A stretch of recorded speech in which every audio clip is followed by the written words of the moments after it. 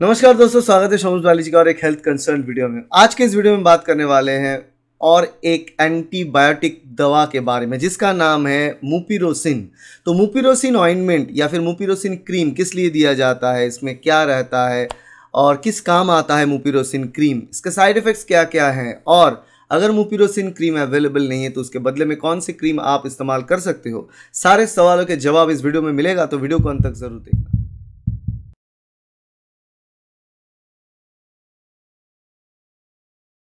तो first thing है mupirocin cream mupirocin ointment एक क्रीम के तौर पे आता है और इसका काम क्या है? ये एक एंटी बैक्टीरियल क्रीम है। Topical anti bacterial cream topical मतलब जो क्रीम स्किन के ऊपर ऊपर के जो हिस्सा है, वहाँ पे लगाना होता है। इंटरनल कोई इसका इंजेक्शन नहीं होना चाहिए। सिर्फ़ स्किन के ऊपर अप्लाई करने वाला चीज़ है। और ये एंटी बैक्टीरियल दवा है ताकि ये बैक्टीरिया के खिलाफ फाइट करेगा बैक्टीरिया को मारता है।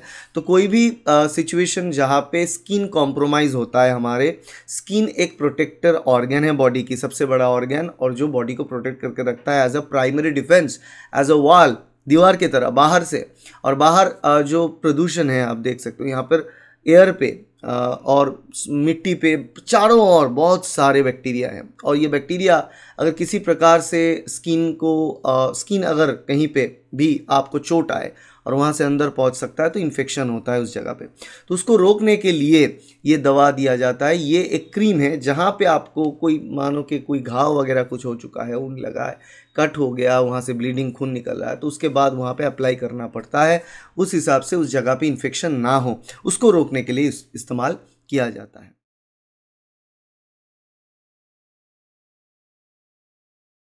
अब बात करते हैं कि ये मोपिरोसिन जो ऑइंटमेंट है ये क्यों दिया जाता है? कौन कौन सी बीमारी में?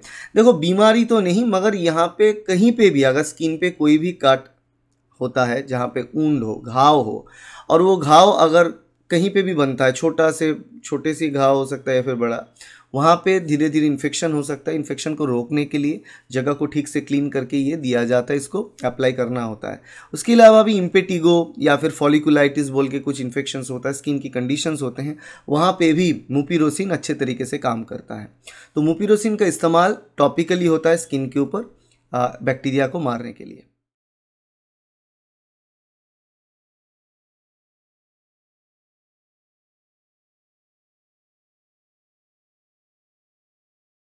अब बात करते हैं मुपीरोसिन के साइड इफ़ेक्ट के बारे में। देखो, मुपीरोसिन हालाँकि है तो बहुत सेफ़ एंटीबायोटिक प्रॉपर्टी है इसमें। मगर प्रॉब्लम ये होता है कि कहीं पे भी अगर घाव हो, वहाँ पे अगर जब अप्लाई करोगे तो हो सकता है वहाँ पे थोड़ा जलन हो। हो सकता है कि वहाँ पे थोड़ा ऐसा लगे कि कुछ चुहन जैसा हो रहा हो। तो चुहन जलन जैसा कुछ फीलिंग आपको हो सकता है या फिर लाल हो सकता है उस जगह। बस उससे ज़्यादा कुछ और प्रॉब्लम यहाँ पे देखने को नहीं मिलता है। और कुछ चीज़, कुछ केसेस में अगर हो सकते हैं कि आपकी शरीर जो है मुपीरोसिन जो कंपोनेंट है सॉल्ट कॉम्पोजिशन पे मुपीरोसिन उसके खिलाफ कोई भी तरीके का एलर्जी रिएक्शन दिखाए तो वहाँ पे रैश होना और एलर्जी जैसे खुजली जैसा फीलिंग होना, ये भी हो सकता है। ये एक सेपरेट केस है, यहाँ पे ये हो सकता है।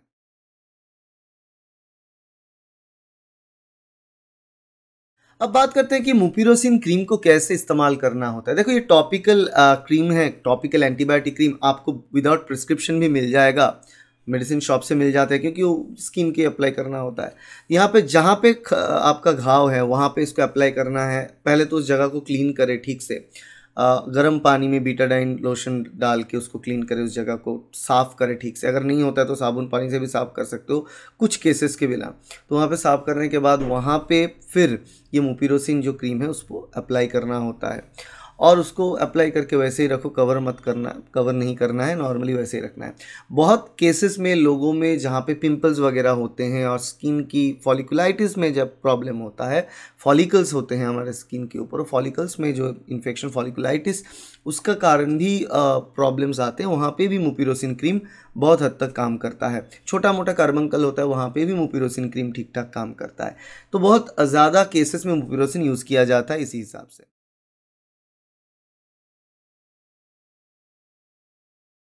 अब बात करते हैं कि मुपीरोसिन क्रीम की इंडियन ब्रांड नेम भारतीय ब्रांड नेम क्या क्या है मुपीरोसिन ऑइंटमेंट की? और यहाँ पे बात करेंगे एक एग्ज़ाम्पल और कुछ और एग्जाम्पल्स भी आपको बताएँगे कि आपके पास मुपिरोसिन क्रीम नहीं है तो आप कौन सी क्रीम यूज़ कर सकते हो? ये है लिस्ट आपके स्क्रीन के सामने।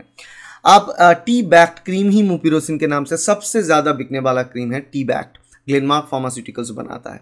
फिर आता है बैक्ट्रोबैन बैक्ट्रोबैन क्रीम बोल के आता है ग्लैक्सोस्मिथ के इन फार्मास्यूटिकल्स बनाता है। आ, और ये सारे ये दो टी बैक्ट हो गया बैक्ट्रोबैन हो गया ये तो सेम कॉम्पोजिशन का ही है।